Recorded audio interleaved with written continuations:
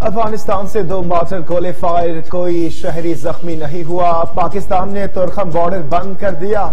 ترجمان دفتر خارجہ شاہ فاروقی کہتی ہیں، پاکستان معاملے پر افغان حکام سے رابطے میں ہے۔ توقع ہے ترخم گیٹ جلد کھول دیا جائے گا۔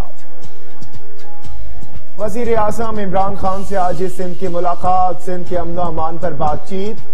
وزیر اعظم نے آج سندھ پولیس کو وفاق پہ اہم ذمہ داریاں دینے کا اندیا دے دیا۔ کلیم امام کو سیکرٹری نارکوٹکس کنٹرول لگائے جانے کا امکان۔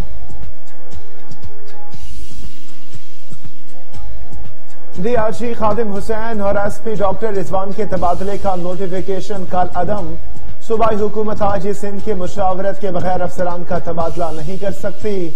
سندھ ہائی کورٹ نے فیصلہ سنا دیا۔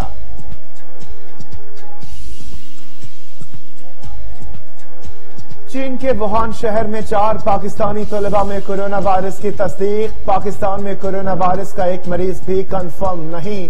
معاون خصوصی صحت ڈاکٹر ظفر مرزا کہتے ہیں، سر درد، بخار، کھانسی، سانس کی تکالیف علامات ہیں۔ سو میں سے ستانوے مریض بچ جاتے ہیں۔ چین نے کرونا وائرس کی روک تھام کے لیے اقدامات کیے ہیں۔ ان کے اقدامات کو پوری دنیا میں سراہا جا رہا ہے۔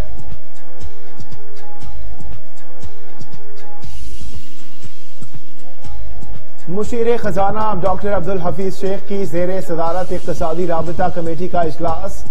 گھریلو صارفین کے لیے گیس کی قیمتیں بڑھانے کا معاملہ مؤخر۔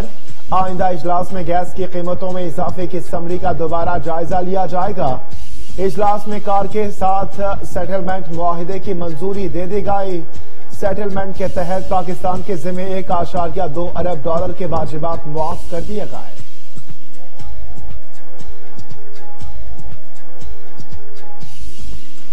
اور پاکستان دنیا میں اسلام کے نام پر بنا۔ مغرب نے ہمارے دین کی خصوصیات کو منفی انداز میں پیش کیا۔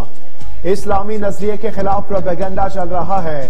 معاون خصوصی طلاق فردوس عاشق آوان کہتی ہیں، پاکستان میں کوئی انتہا پسندی نہیں۔